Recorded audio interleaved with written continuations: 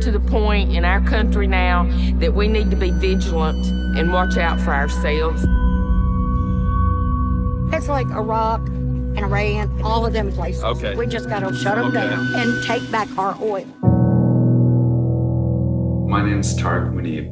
What we're doing is we're taking people here from different points of view, bringing them all to Egypt to have a dialogue. An amazing project, giving away free trips to Egypt. The whole point of this project is trying to to connect with people in kindness instead of fear. Do you think there's a way for us to maybe go to Egypt and understand what's happening there? No. Or you think no, no? no, no. They're our enemy, no They're- matter. Oh, that's right. it. Want a free trip to Egypt?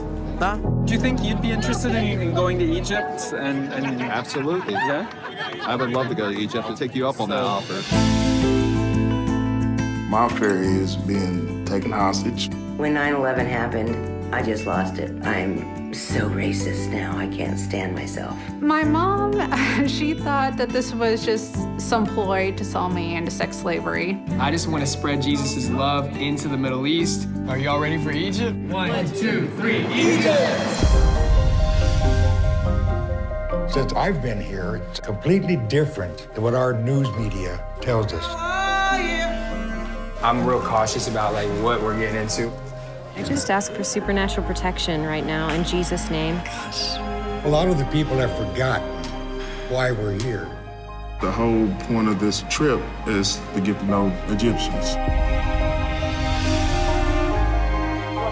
I think a lot of people think that there are going to be so much that's not the same, and I just felt there was so much that was the same.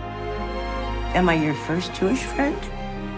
She's like, you guys go to all these different countries, and are you truly fighting for America? When something comes to you as a calling and you feel it deep in your heart and you do it, you know it's right, even if it's stupid and naive.